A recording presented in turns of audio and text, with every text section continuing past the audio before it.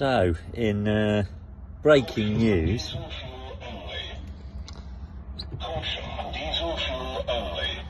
the uh, ambulances that we've got only take diesel fuel.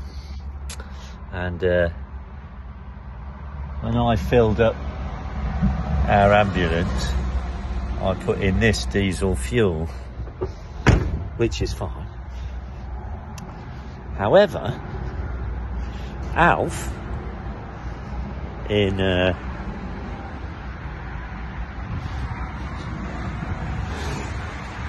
in this ambulance sadly put in petrol which did have a black sort of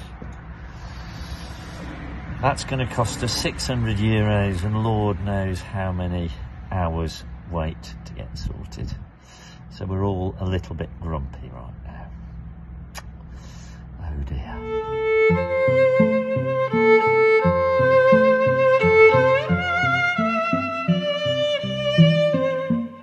How, how are you feeling at the moment? Feeling great. so can you give uh, can you give the audience a bit of an update on where we are? Well, somewhere in Germany, somewhere in deepest Germany. We're in, we're in Okay, well that's physically, geographically where we are. A, we're in a motorway car. That's We a are. good one, isn't We are. it? Yeah. We're We're having coffee, Yeah. having a great time. We're still going to be in, still going to be at our destination. Our little friend over here saved our lives by telling us that we put petrol in the ambulance before we drove it off, which would have Would have been a lot absolutely ruined it Would have been a lot and the entire operation.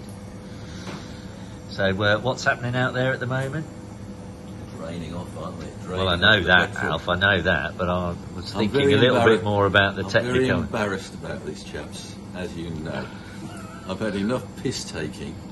by- Is that is that true, my- Rich? Has he had enough No, mistake? nowhere near enough. I Nowhere think near I think enough. it's No, not I would tend to agree with that.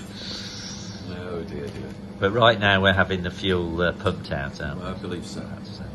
That's it. I believe 600 euros for So all we need, Plus, plus the cost of another tank of fuel. right? Yeah, so- The last two hours have cost us probably 700 euros. Well, it cost me, should I say.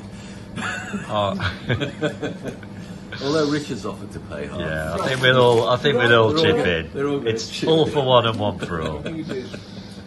Anyway, mate. Uh, Listen, it's uh, it's all part of life's rich pageant, part of the story. None of this would have happened if it wasn't for you. It adds a lot of colour to the story, stuff. You have, mate.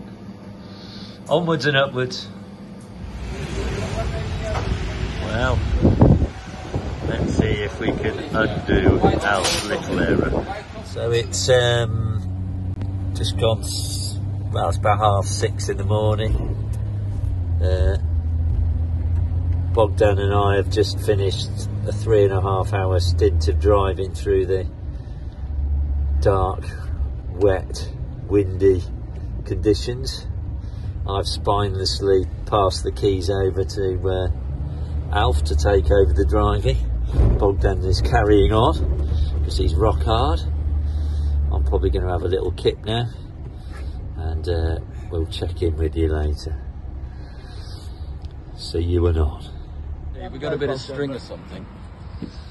The uh, latest uh, dramatic development. Who was driving, Uh, Mark? Who was, who was driving? Just remind me. you were navigating. I was navigating. I couldn't see Yeah, it. you were navigating. It's your fault, Rich. This is my bloke.